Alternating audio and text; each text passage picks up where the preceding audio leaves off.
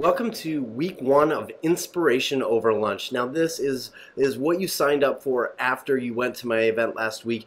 And the goal here is to provide you with six inspirational videos over the course of the next six weeks to keep you out of the weeds, to, to help you think about your business in some new and inspiring ways. And this week I'm going to talk about maintaining consumer momentum. Now this is the reason I put together these six inspirational videos. I started evaluating the, the consumer momentum of the people that I spoke to. So let me talk to you about consumer momentum specifically and something I call the consumer momentum curve. Now you can think of it as the guitar hero curve, okay? You know the video video game Guitar Hero where you play along with a video game guitar and and you can sing or play play you know Garage Band. Those those kinds of games are a really good gauge of consumer momentum. And consumer momentum, this chart here, you're looking at enthusiasm on the y-axis uh, and time on the x-axis. And when I ordered Guitar Hero, as soon as I placed that order, I was so excited to get the game in my living room, and the anticipation started to build. So Amazon was sending me this box, and I was really excited to get it. And as the anticipation grew for that, that box to arrive, I started telling my friends, hey, the box is going to be here on Friday. Come on over. We'll play Guitar Hero. We're going to have a great time, right? That box arrives on my front doorstep, and I'm enthusiastic beyond belief. And I move into the next phase of the consumer momentum curve. I move into what's called the honeymoon phase, all right? Right? So now I've got the box, I set it up in my living room, and I can't wait to play. I get some beer, I get my friends, they all come over, and for the next day, we play Guitar Hero. We go through every song, we have a blast, right? Now, this goes on for a couple of weeks. I invite people over. The new people that come over, I'm so excited to show them my new Guitar Hero setup right in front of the TV. But then you move slowly into what I call the inspiration phase. And my enthusiasm for the product slowly diminishes over time. And I need more and more inspiration to get out the game, right? My wife says you got to move that out of the living room. You don't play it anymore. So I move it into the dining room in the corner. And if, if somebody's going to play, I got to bring it out. And that takes a lot of work. I need inspiration. If a friend calls and says, hey, I want to come over and play Guitar Hero, that's the inspiration I need to take it out of the dining room and put it in the living room and play again and then put it away, right? But at some point, that inspiration phase and the, and the power you need to inspire someone to play with that new toy again comes you know, very rarely, and it's also a really big barrier to entry. And that's when your product, your service, your interaction has moved into what I call the relegation phase. They've forgotten about you, right? That's when Guitar Hero has been in the basement for three months. I forgot about it. Next time I go down there, I say, you know what, I'm going to put it on Craigslist. I don't play this game anymore. So these are the phases of the consumer momentum curve. There's anticipation for it, there's the honeymoon period, the inspiration phase where you need to be inspired to use it, and relegation.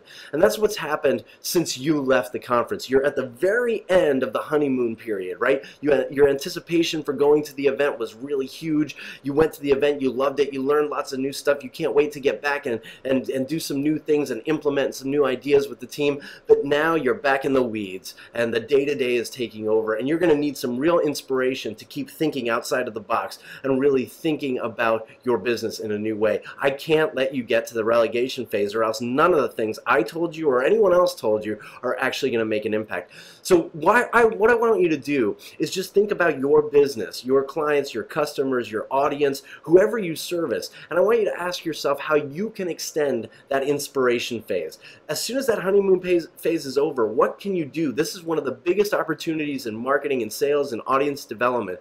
You've got to think about extending that inspiration phase. What kind of content can you create and build on that relationship you have with a new customer or client to actually get get them to take out your product or talk about it or invite friends to participate with you.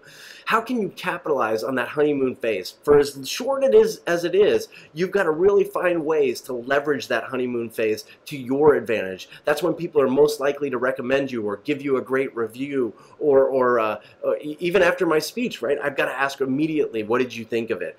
And what data do you have that can help heighten and share that anticipation phase for the product or service or event that you're putting. If you're a publisher, you've got to start thinking about what you're doing to heighten anticipation for the content you're going to publish. Like, do, do your journalists actually show their work outside of your platform? If they did an interview today for an article that's going to appear a week from now, can they actually share parts of that article uh, and part of that interview on a social platform to, to, to build anticipation for what's going to be published. And instead of releasing all your media assets at once, if you have pictures and multiple videos or audio clips, why can't you extend that inspiration phase for the content you've just created or just published by leveraging that additional media?